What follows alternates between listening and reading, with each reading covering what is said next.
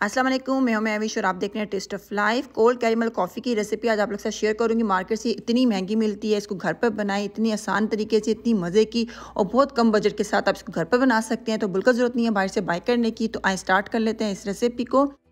Cold caramel coffee बनाने के लिए वन टेबल स्पून हमें कॉफ़ी चाहिए होगी और वन टेबल स्पून हम ब्राउन शुगर का इस्तेमाल करेंगे। ब्राउन शुगर ना हो तो वाइट शुगर भी डाल सकते हैं और थोड़ा सा पानी डाल देंगे और इन सब चीज़ों को अच्छी तरह से ब्लेंड कर लेंगे।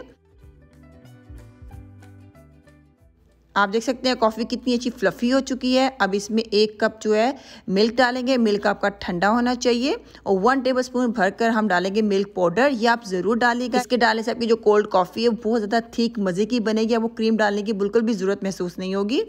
यहाँ पे देखिए कैरमल सॉस है मेरे पास इसका इस्तेमाल करेंगे। मैं आज मार्केट वाले यूज़ कर रही हूँ, लेकिन आप इसको घर पर आराम से बना सकते हैं।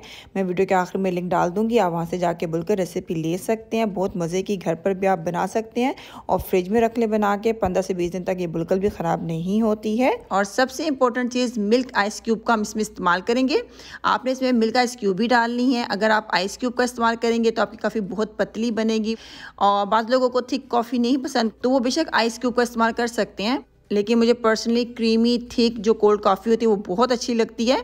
तो वैसी कॉफ़ी बनाने के लिए आपने इसमें मिल्क आइस क्यूब का इस्तेमाल करना है। मैंने इस तरह मिल्क क्यूब्स बना के फ्रीज़र में रखी होती हैं। जब भी मुझे कोल्ड कॉफ़ी या मिल्क शेक बनाना होता है तो मैं मिल्क आइस क्यूब का इस्तेमाल करती हूँ। तो बिल्कुल भी आपको फिर आइसक्रीम डालने की या क्रीम डालने की ज़रूरत नहीं पड़ती अपने शेक को या कोल्ड कॉफ़ी को थिक करने के लिए।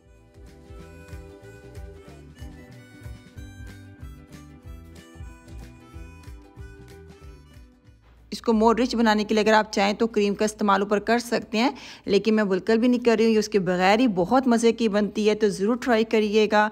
इन नेक्स्ट टाइम मिलेंगे एक अच्छी सी रेसिपी के साथ। ख्याल रखिएगा, अपना दुआ में याद रखिएगा। हाफिज़।